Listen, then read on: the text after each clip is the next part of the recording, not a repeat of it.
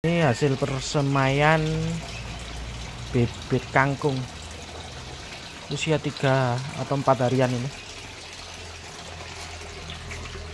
Ini sementara lombok kecil. Ada yang lemu-lemu ada yang kuru-kuru bahkan ada yang mati.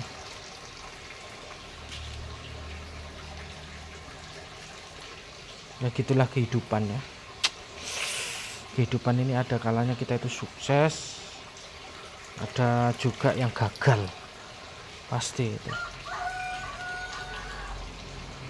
Fenomena kehidupan. Tidak semua yang kita rawat ini berhasil. Kalau yang ini sukses semua alhamdulillah. Bibit apa namanya? Binahong ada berapa itu? 2 3 4 5 6 7 8 9 nah ini akan merambat ke atas